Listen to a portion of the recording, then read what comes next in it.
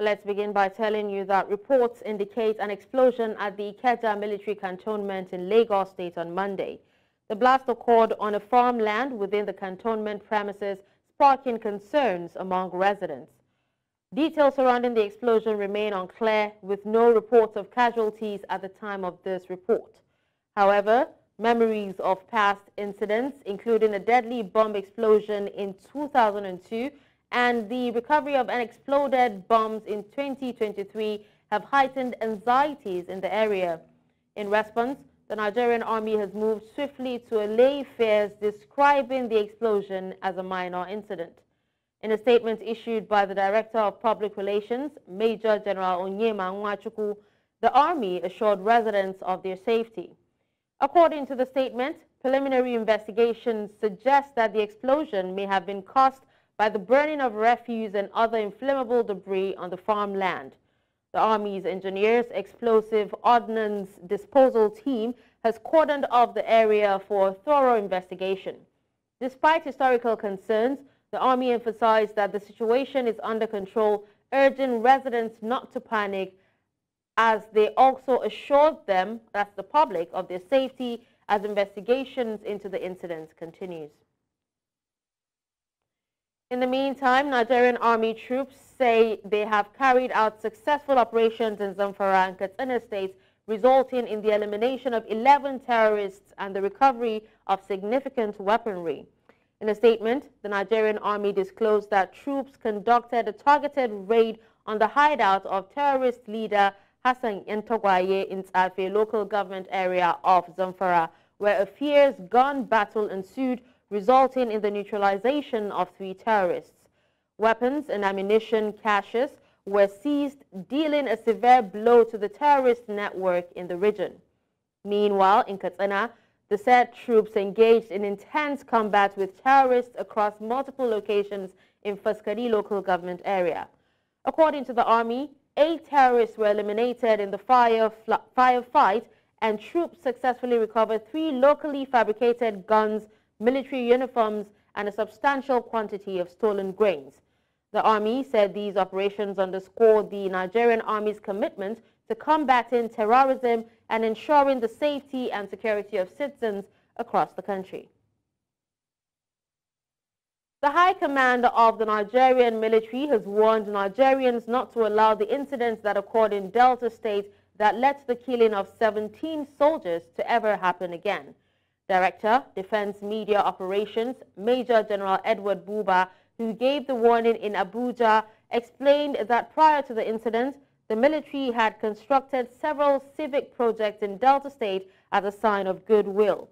On the recent rescue of the 16 and 17 hostages in Sokoto and Kaduna states, Buba noted that the rescue operations was based on collaboration between the military working with local authorities and government agencies across the country in a coordinated approach, which he, however, urged citizens to remember that they are their first line of intelligence.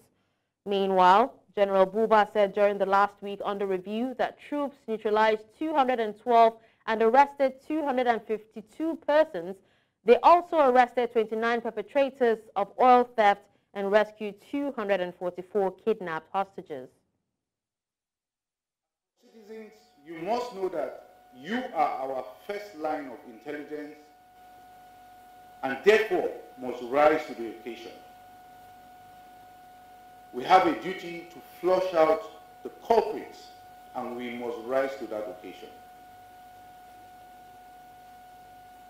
The success demonstrates the unwavering commitment of the armed forces to secure and protect the citizens of this country against harm and acts of terror. Nevertheless, troops will continue with their efforts until the culprits are found, arrested, tried, and brought to justice Stakeholders in Nigeria are calling for the death penalty for those caught vandalizing critical national infrastructure. Now, this comes amidst growing concerns over the widespread destruction of public property from the newly constructed second Niger Bridge to railway tracks and power lines.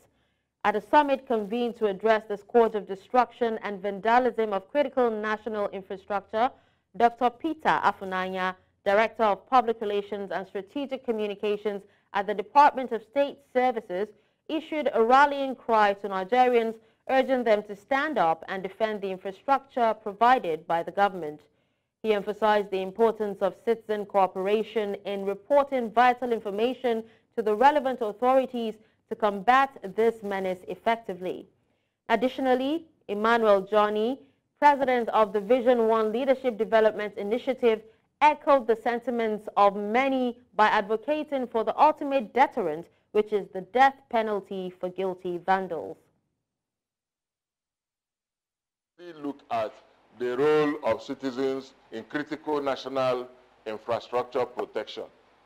What do you do as a citizen to protect the electric line that has passed through your place, whether there is uh, um, power in it or not? Uh, because when we say roles of citizens or citizens' role in critical national infrastructure, we are simply asking every person to come on board and be a part and parcel of the protection of our nation. Now, if we don't allow our law to work, our system will continue to go down. So we have system law. Let's allow this law to work. So National Assembly should consider all this legal framework in making sure that, look, if you vandalize government infrastructure, this is a penalty. Then as you are living in the community, look, telecom infrastructure is important. Because without telecom infrastructure, they can never create knowledge and ICT-based society. Without power infrastructure, you can, your business cannot grow. So why are you not taking responsibility as citizens? See it as your own. Still talking security, the students that were kidnapped by aliens suspected along the east-west road in Ughelli North local government area of Delta State, south-south Nigeria, have regained their freedom from the kidnappers' den. The student's Sienna vehicle was hijacked last Friday while returning from Calabar at the Enreni axis of the east-west road. Delta State Police Public Relations Officer, SP Edafe Bright, in a WhatsApp chat with News Central correspondent Austin Azu, confirmed that the students have been released from captivity. And let's talk politics, where the new Nigeria People's Party, through its Board of Trustees led by Dr. Temitope Aluko, have filed a suit before the Federal High Court Abuja to stop the proposed Congress and convention slated for 2nd to 6th of April 2024. The suit was filed with an advance copy sent to INEC chairman with a covering letter from Barrister Monday Mawa of Templum Chamber advising the commission not to participate in the legal congress and convention until the determination of the case in court. Consequently, the Federal High Court of Abuja has fixed April 16 for the hearing of the matter before Honorable Justice Obiora Egwuatu and INEC was duly served by the court bailiff on Friday, 28th of March 2024. The National Publicity Secretary of the party, Abdul Salam Abdurazak, said that the effective service of the suit before Honorable Justice Egwuatu on INEC on Friday, the 28th of March, is another jeopardy for Kwankwaso's group for the third time in a row because INEC, as a neutral and unbiased uh, commission, by its tradition, may decide not to participate in any NNPP's factional congress or convention until all litigations, most especially in congresses and conventions, are put to rest. Thank you for staying with us. Now, in the meantime, the Joint Action Committee on Nonviolence Movement has called for an investigation into the death profile of Kaduna State, including the non-payment of contractual liabilities by the previous administration. The group, in collaboration with 27 other civil society organizations, took to the streets of Kaduna the state capital, calling on the state government to ensure that the matter is not swept under the carpet. Amadin Ui reports. The protesters took to the streets of Kaduna, located in Nigeria's northwestern region.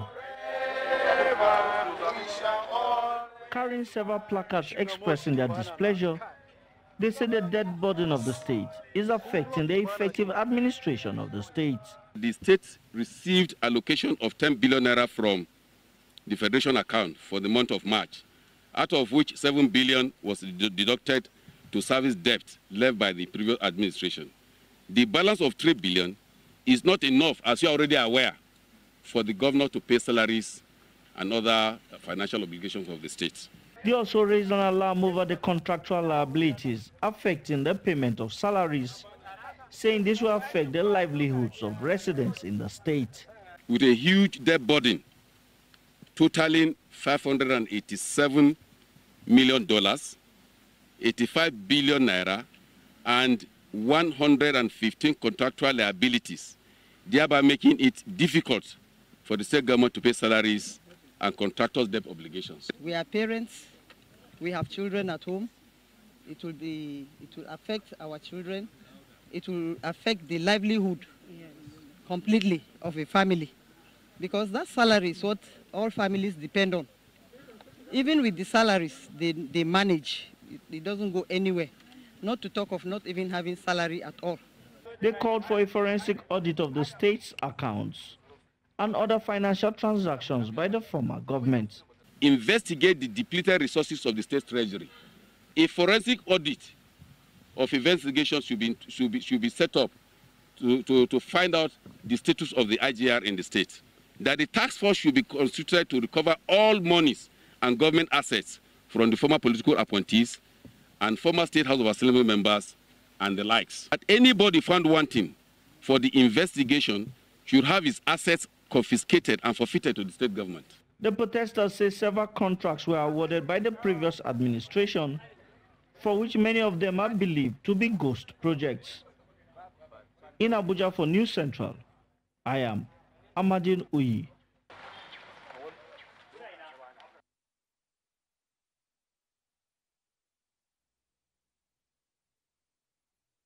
Thank you, Amadine, for that report. It is believed that Nigeria is currently facing a daunting socio-economic condition, one characterized by insurgency and economic recession. Unfortunately, many Lagos residents admit that with the challenging conditions they find themselves, enjoying only a few hours of sleep. Now, health practitioners say sleep deprivation makes the people vulnerable to different health challenges. News Central's Bettina Nweli reports. At times I sleep by 1, 1, 2 o'clock a.m. because of the stress. The stress on Nigeria itself is enough. Not to talk of Lagos. According to Wikipedia Dictionary, sleep is a naturally recurring state of mind and body characterized by altered consciousness, relatively inhibited sensory activity, inhibition of nearly all voluntary muscles, and reduced interactions with surroundings. The effects of not sleeping are numerous. At the least, it can lead to low productivity at work. Unfortunately, according to experts, sleep deprivation, especially when built up for up to 20 hours consistently, may not be fully reversed. Long-term consequences of chronic sleep deprivation or poor sleep patterns may include increased risk of chronic health conditions such as obesity, diabetes, cardiovascular diseases, and hypertension, mental health disorders such as depression, anxiety, and mood disorders. You can also have impaired immune functions and increased susceptibility to chronic diseases. There's also reduced quality of life and overall well-being. According to the Pharmaceutical Society of Nigeria, it was discovered in 2016 that 40% of Nigerians have a sleeping problem. One can only imagine what the figures are now. You see, this sleep of a thing is totally out of it. You can't sleep comfortable in your own zone anymore. Just because the stress out there is too much these days. Uh, for me, I don't want to sleep less than six hours in a day. So I think that's the minimum I want to go because I understand the importance of sleep. I don't sleep much because of my job. sometimes I'm almost four hours. But if I'm not on duty, I sleep. I sleep no normal. By prioritizing healthy sleep habits and making lifestyle adjustments, individuals can improve their sleep patterns and overall sleep quality, leading to a better health and well-being. The relationship between sleep and productivity is a symbiotic one. If you want to be productive, you need to sleep well. Trying to do the opposite leads to significantly low productivity, evidenced in work-related errors, forgetting important details and facts, and ultimately impact a person's creative abilities when they are highly needed. In Lagos, for News Central, Bettina Nwili.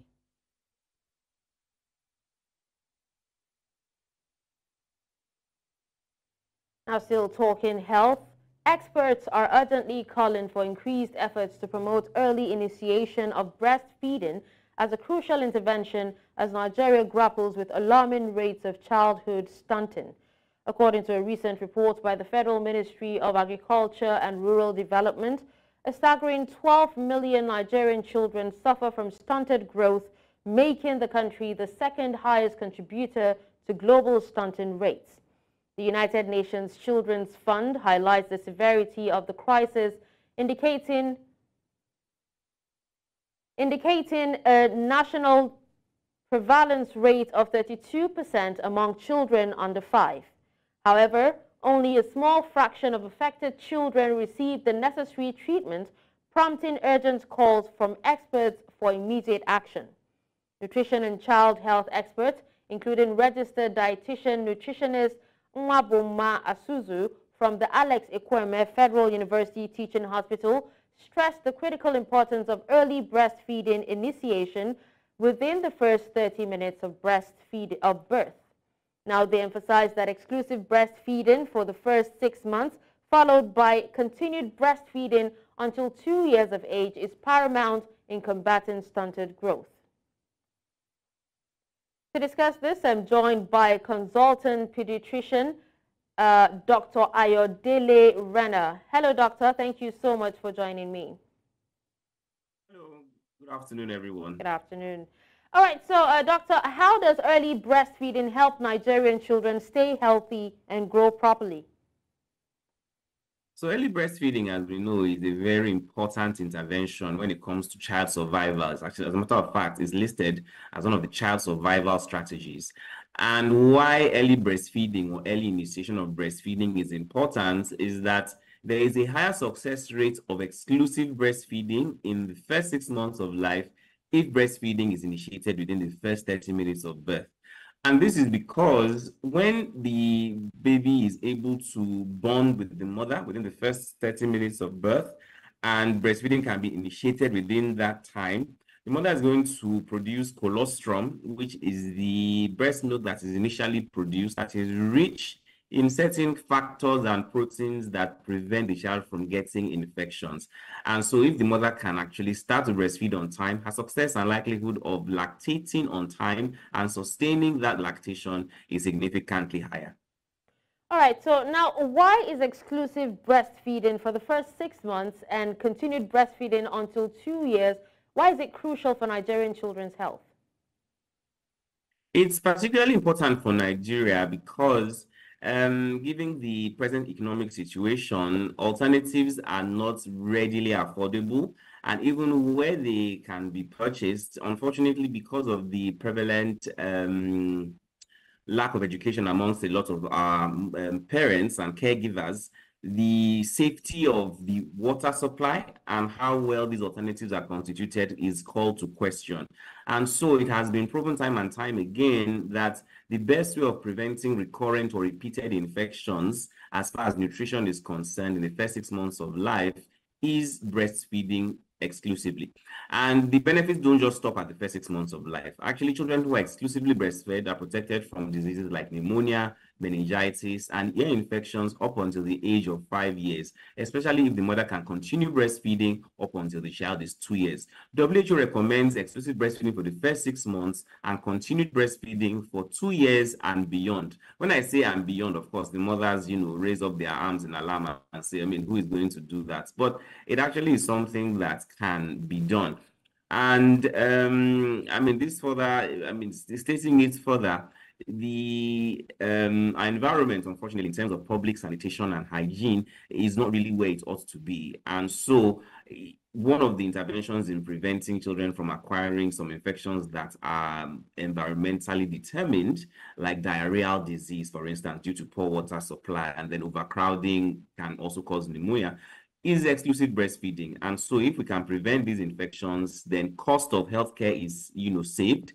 And in the first six months of life, a woman who is exclusively breastfeeding is not going to have to spend money buying um, those alternatives Formula. that we can find on the shelves. And that's some money saved to do other things for the family. Okay. All right. But, but then what are the risks of uh, stunted growth among Nigerian children? I really want to also know, you know, uh, the relationship between uh, stunted growth in children and how it affects their ability to fight diseases. Can you explain further? When we refer to stunting, what we mean is that a child has a length or a height that is significantly reduced for the particular age. So if we expect a child to be a certain height or length for their age and it is less than a certain level, then we say that that child is stunted. And stunting is an indication of chronic malnutrition. This mm. means that the child has not received adequate nutrition for such a long time that their linear growth or their length is significantly affected. Now, one might imagine, well, I mean, it's just the height. So what could be so bad about that?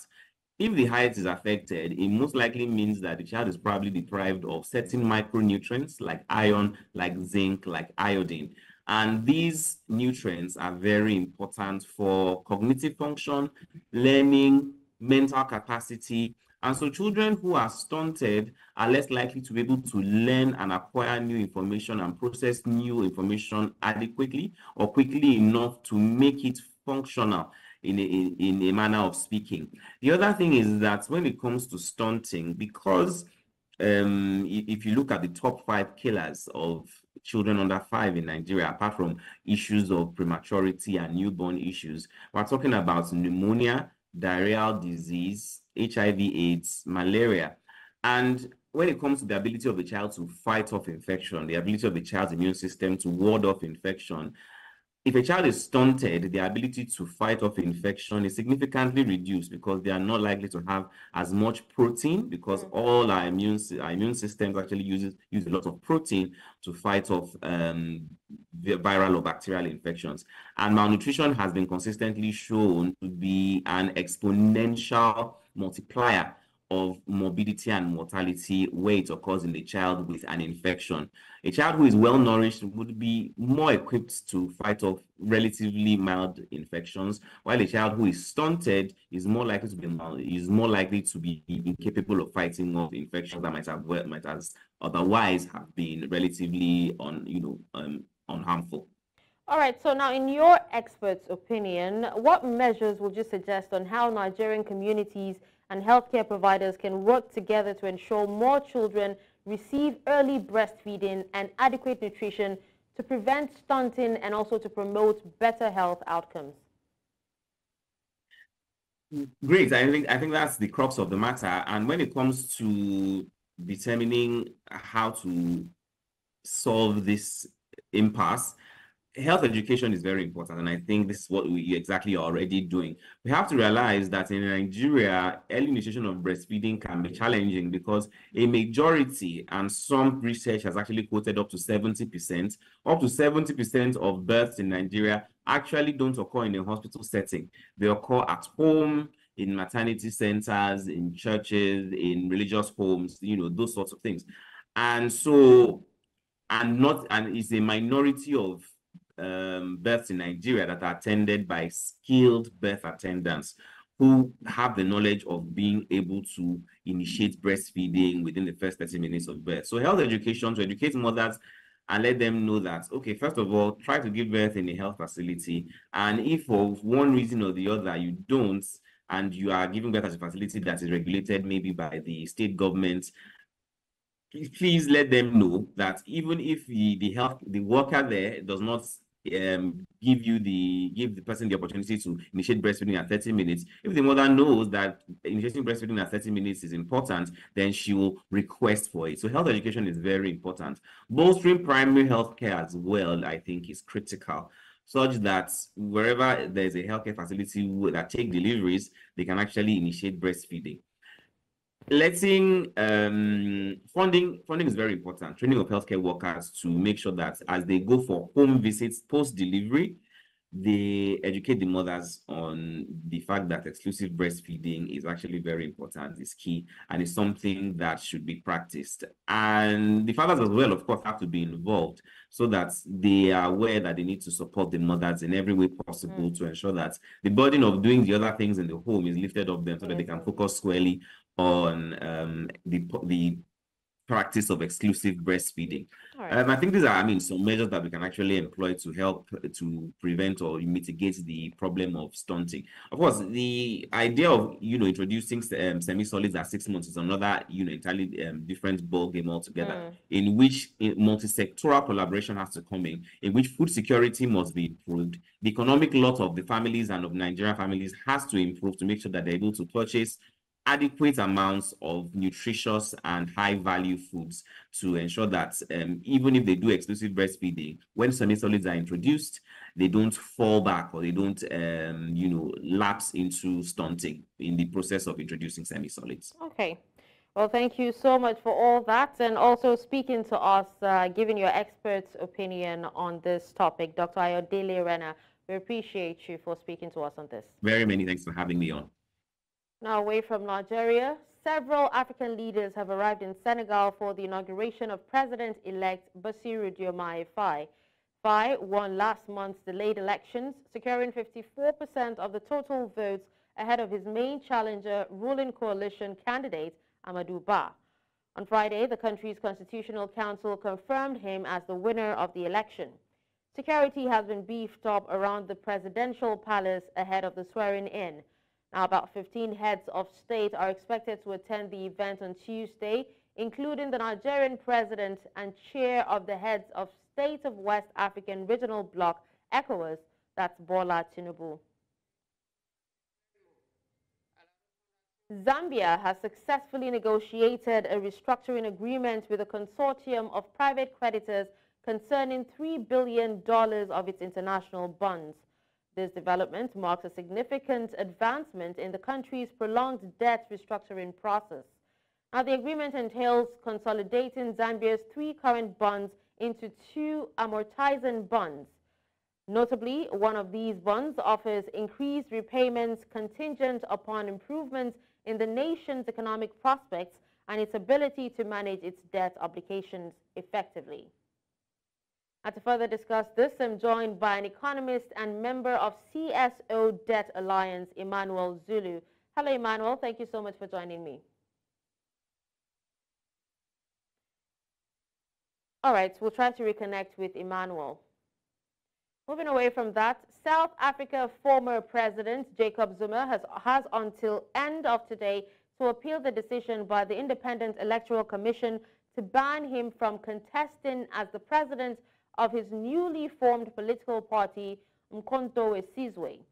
A week ago, the MK party listed Zuma as their presidential candidate, but according to Section 47 of the Constitution, a candidate cannot be elected to parliament if they have previously been convicted. The candidate is only allowed to contest or be elected to parliament or legislation after five years if only the sentence has been completed. However, for the former president, he was sentenced to 15 months in prison and only got to serve two months after being released on a medical parole.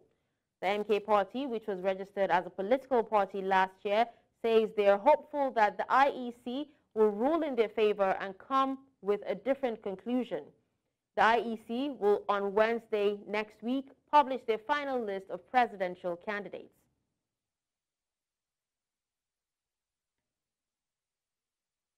In the north of the continent, President Abdel Fattah al-Sisi was sworn in Tuesday in front of parliament for his third term in office. According to reports, President Sisi solemnly pledged to uphold the constitution of the country in the premises of new parliament located east of Cairo. With over a decade in power, President Sisi's re-election with a sweeping 89.6% of the vote solidifies his position as a key figure in Egypt's political landscape. His tenure, marked by pivotal moments, including the ousting of former President Mohamed Morsi, has shaped the nation's trajectory over the years. Notably, President Sisi's new term spanning six years is expected to be his last in accordance with constitutional provisions. This transition signals a crucial phase in Egypt's democratic journey with hopes for stability and progress under his leadership. At least half of the population in Gaza face hunger.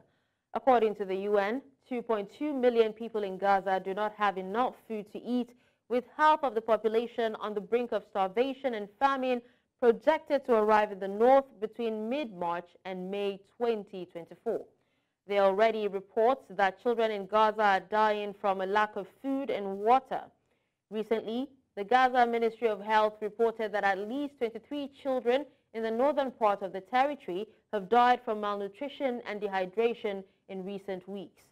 Videos captured by the media in recent weeks have shown people scrambling to get food on the rare occasions that aid trucks appear. Israeli authorities have curtailed the amount of aid entering Gaza since October 7th. Meanwhile, the Gift of the Giver says they're taking efforts to get aid to Gaza.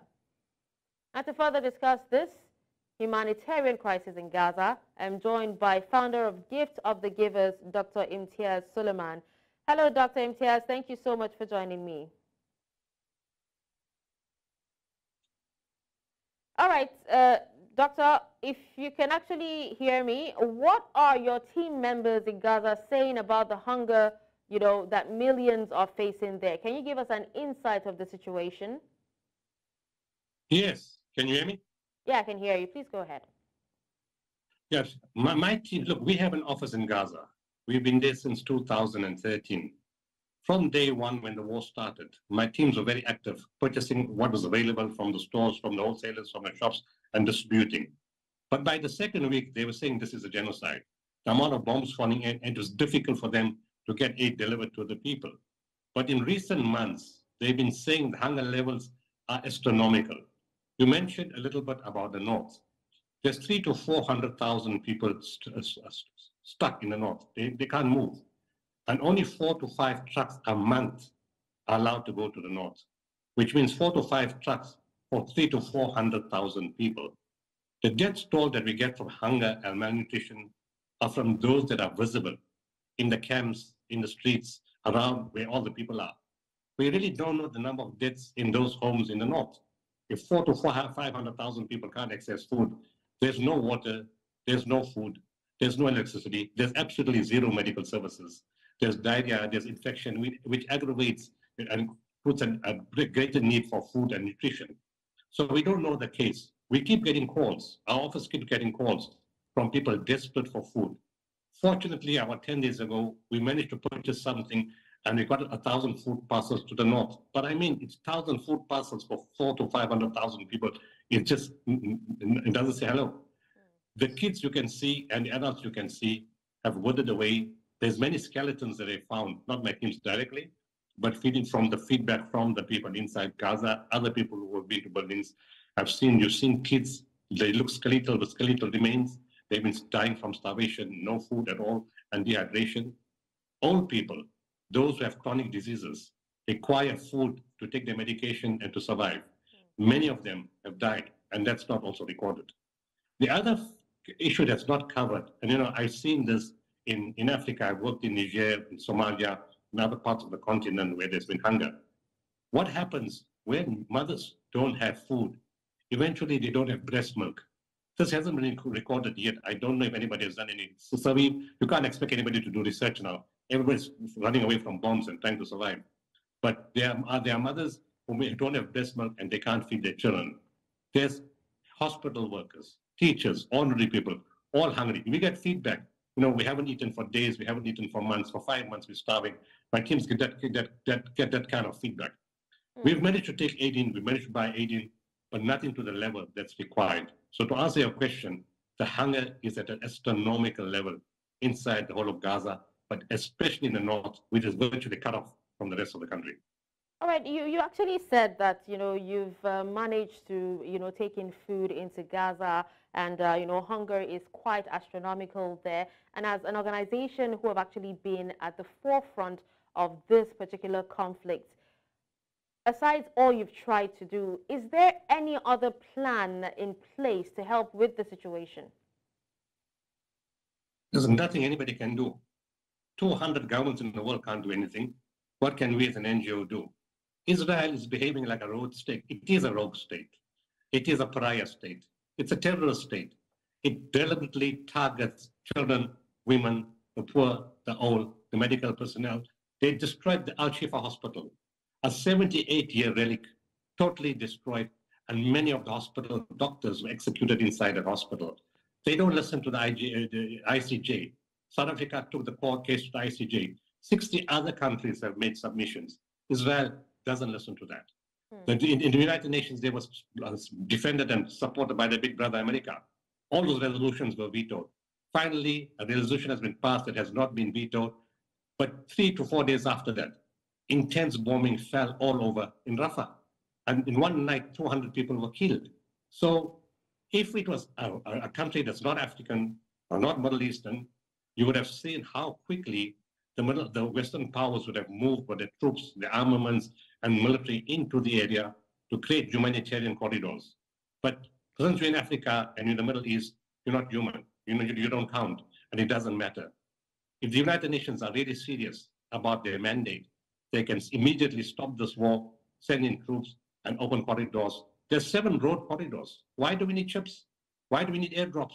What an indignified way of sending food. The food falls on the people and it kills them. When they, they run for the food, you know, they are shot at like dogs, like animals. Mm. A lot of the, the, of the food fell in the sea. They have to swim and they drowned in the sea trying to get the food out. Yet there's a corridor that's possible that can put 900 trucks a day into, into Gaza, to seven corridors. Why is that not being opened? Hmm. It's quite uh, disheartening and uh, quite sad to hear, but we do hope that, you know, you and your team uh, continue to remain safe even as you try to get aid into Gaza. But thank you so much, uh, Dr. Sooliman, for joining me and speaking on this. Thank you. I appreciate the invite. Thank you very much. Thank you. All right, moving away from that, the president of Colombia, Gustavo Petro, has described the disqualification of opposition candidate Maria Corina Machado in the Venezuelan election as an anti-democratic coup. Venezuela is preparing for elections marked by political disqualifications and judicial offensive against Maduro's main rival. Several of Machado collaborators were arrested. Señora María Corina y otros previamente se les inhabilitó para participar de campañas electorales por autoridades administrativas. En Colombia pasa lo mismo. Aquí, como una especie de doble moral, atacamos lo que hacen allá, porque indudablemente es un golpe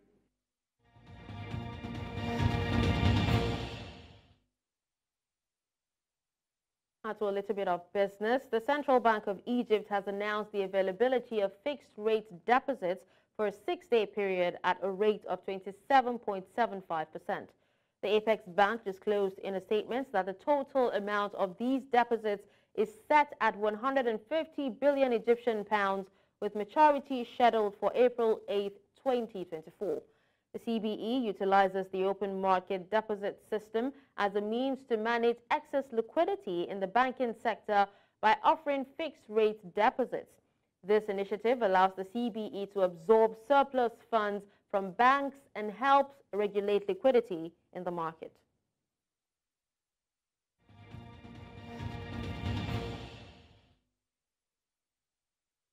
In the world of sports, Nigeria's 2023 Premier Basketball League champions, Rivers Hoopers, began their title defense of the Lewis Adam Invitational Basketball Championship with an 80-72 victory over Ghana's Braves of GRA on, um, of, uh, on Monday.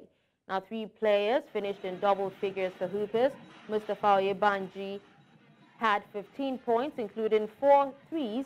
Abel Ophir added 14, while Michael Oriaki scored 13. The Kingsmen shot 14 threes against Braves of Ghana. Next up for Rivers Hoopers is a date with Comets on Tuesday at the National Stadium, Surulere, Lagos.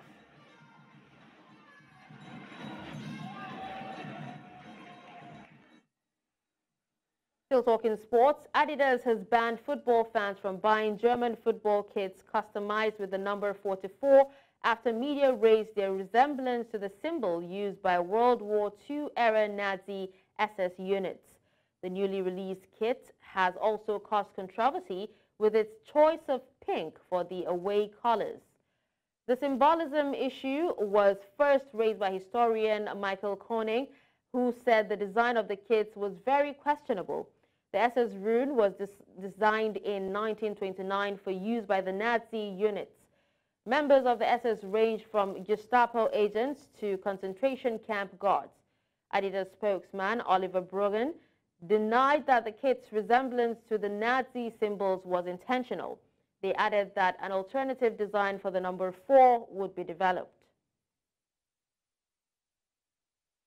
And that's all at this hour. But before we go, let's take another look at some of our top stories.